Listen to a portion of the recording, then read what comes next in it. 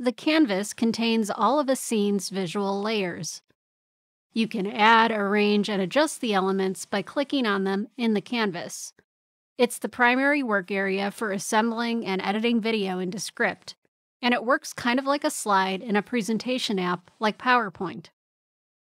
If you haven't already watched our video or read our article on working with scenes, you should do so before watching this video, as scenes and the canvas function together. As a side note, you won't see the canvas if you're in an audio only composition because it's just part of the workflow for editing video. Dragging and dropping media into the canvas will add that media to the scene.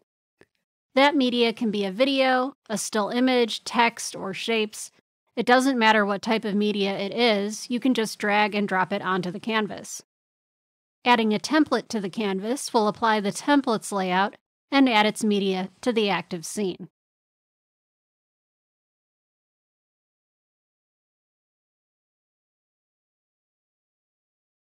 Every piece of media that's added to the canvas is its own layer. You can select individual layers on the canvas one of two ways. The first is from the canvas itself. Just hover over the layer you want to select, wait for the border to appear, and then click the layer. With that layer selected, you'll see the Properties panel has surfaced options for editing just that layer, as opposed to the entire scene or entire script track. The second way to select layers is from the Properties panel. This is a useful option if the canvas itself has lots of layers and you're having trouble selecting the one you want. Just select the scene, then look here at the Properties panel. You'll see a list of your layers.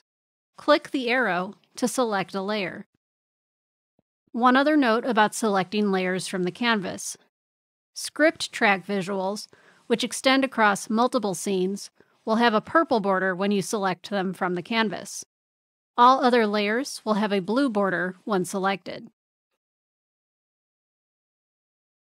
We have a number of tools for working with layers on the canvas. Some of the options only appear for certain types of visuals. Here are a few examples. You can scale layers on the canvas by clicking and dragging the layer from the side or the corners. You can crop layers by double-clicking on them or using right-click, crop to enter crop mode.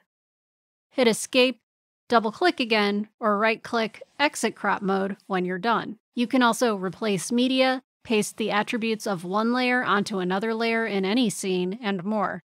Read our article on working with the canvas for more details.